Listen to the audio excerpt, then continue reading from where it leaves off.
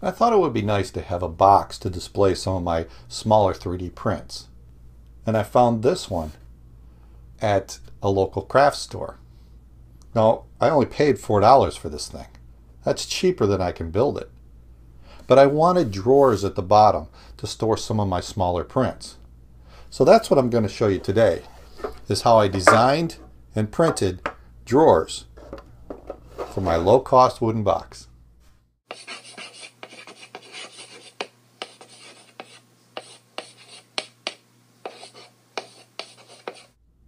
Now before we get started on the drawer, I just wanted to give you guys an update. A few subscribers have asked me for specific projects, one of them being gear drives. Well, I'm working on it.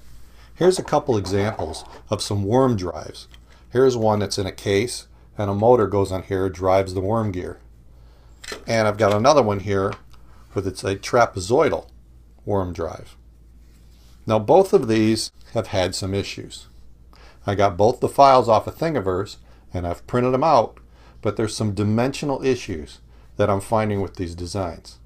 And these are very, very critical. And I'm not sure if it's related to the printing, to the files, so I'm still working those out. So hang in there, I'll have these in a future video. So, let's get started on the drawers. I'll show you how I built them. I used Tinkercad to create the drawer. I made it 72 millimeters high, 69 millimeters wide, and 97 millimeters deep. I got these dimensions from the wooden box. Next, I created a hollow box, or a hole, and placed that directly inside the first box. I made it 66 millimeters wide and 94 millimeters deep. I centered it, so this gave me about a 1.5 millimeter wall thickness.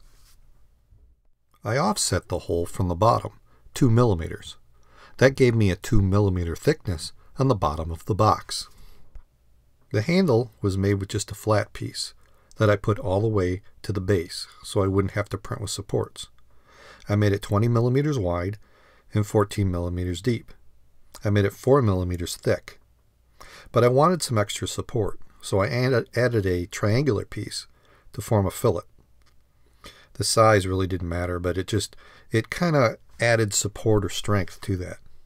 Now the rounded pieces, to give me a rounded edge, are a custom piece that you can adjust the diameter, the, the angle, the size, and I got that from the shape generators under the community section.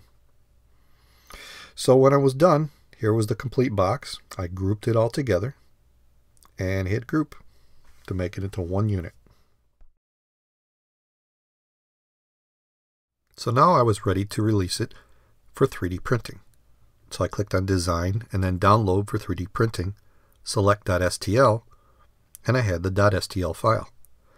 I clicked on that and it automatically appeared in my XYZware on my Mac. Now it ended up facing backwards, so I turned it 180 degrees in the Z direction, so the tab was facing forward. Now I'm going to export it here to make the 3W file that I'll then put on a flash drive and take it to my lab computer. I used a 0.4 layer height, a 10% fill, standard shells, standard speed, and I don't care about supports because I'm not going to use them. I click export and the slicing begins. Now the slicing took a little over a minute and a half to complete and then I saved the file and I was ready to go. The design looked as expected, so I sent it to the printer.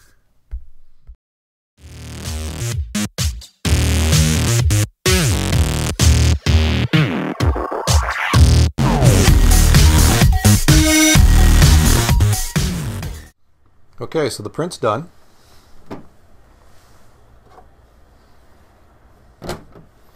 And there we have it.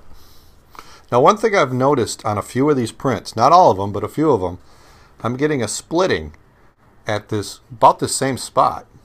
So I don't know if it's just the way the pressure is on the box, if I need to make the walls a little bit thicker, or just go to a different layer height. I mean, these were the 0.4, which is pretty crude.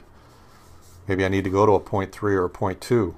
But it's really not that big a deal for what I'm doing. And it fits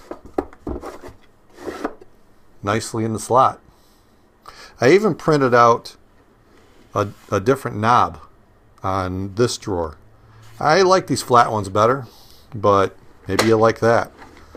And then it holds the small pieces. So that's it. That's my drawer for my cheap wooden box. If you like this project, check out some of my other projects.